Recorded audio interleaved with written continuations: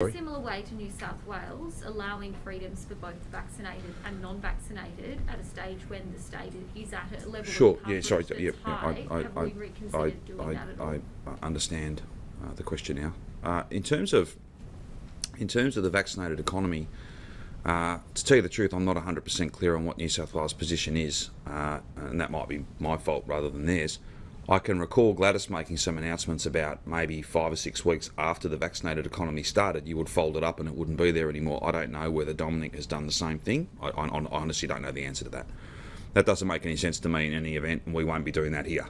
Like, why would you get the system going? Why would you have the thing up and running and then essentially pull down that, uh, pull all that down, pull all the architecture that you built, all the infrastructure that you built, the culture that you've changed? Why would you change that four or five weeks later? We will not be doing that here. I'm not going to say to someone, "Oh, look, just wait us out, will you? Just, just, just wait four or five weeks, and then you'll be able to go to the pub." No, if you make the judgment to not get vaccinated, and you reckon you can wait out us or the publican or whoever you want to think you're waiting out, you won't wait out the virus because the virus will be here for a long time, and your only protection against it is being vaccinated. This will be well into 2022, well and truly into 2022. Then we're going to get into booster issue, so it won't be your first and second dose. It'll be have you have you have you had your third, and then the other issue will be well, who knows what uh, variants coming? Who who knows? Like we don't. So we've got every reason to be confident. We've got every reason to be optimistic and upbeat. This is the Victorians have done an amazing job, but that job includes uh, uh, us making some difficult decisions, and that's to keep people who are not vaccinated out of some of those venues that we've been talking about today.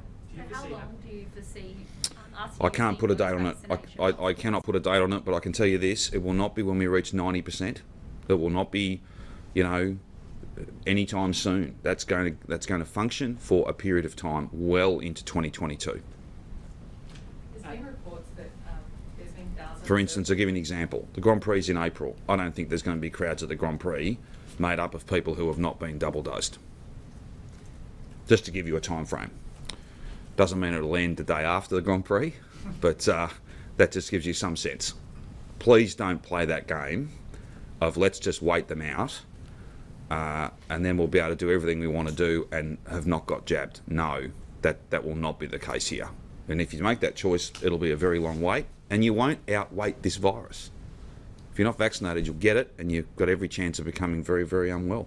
Just on that, if we, if Victoria takes that stance, likely could be inconsistent with the other states with, with what New South Wales is planning. Are you concerned that Victoria may be viewed as a, uh, as in economic terms as a place that we could, that people could do business with because No, I wouldn't think so. Be in that position when the other states aren't. No, I wouldn't think so. Not when 90 plus percent of the community, by that stage, probably 92, 93, 94 percent of the community over the age of 12, which is pretty much, well, most of the consumers across our state will have been double dose vaccinated and will be in the process of getting their third shot.